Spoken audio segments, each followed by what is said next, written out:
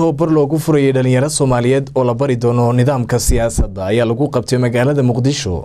Siday ku soo waramaysa waryaheena saynab maxamed aadan?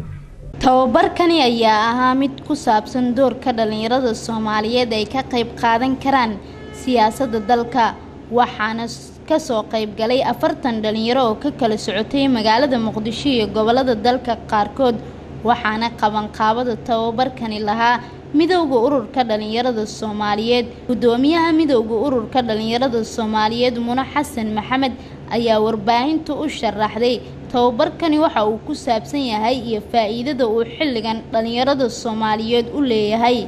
Afartan dhalinyaro oo ka kala timid muqdisho iyo gobollada qaar sida beledweyne oo kaleente inaan maanta tababar lagu baranaya ka qaybgalka siyaasadda iyo doorka ay ku leeyihiin dimuquraadiyadda iyo doorashooyinka.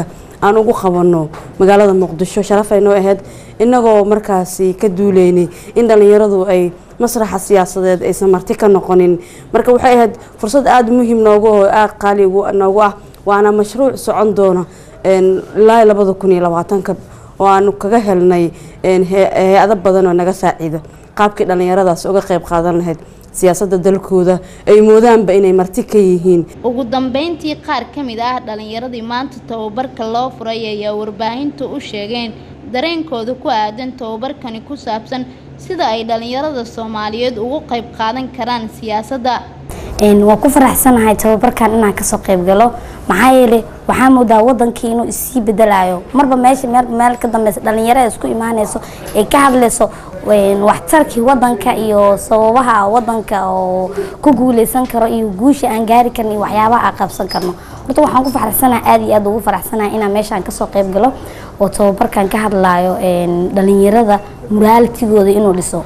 Waxaan kaloo aada ugu faraxsanahay dhalinyaro fara badan oo jecel wadankooda inay wax u qabtaan inaa barto.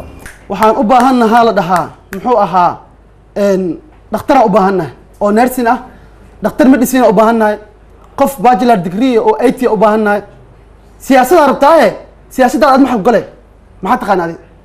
Qoot qoota maarta ina siyaasad gashi maya political baro. Political baro. Political markaa beratid waxaa jiro speeching wax lo hadal baruurta adiga hadal.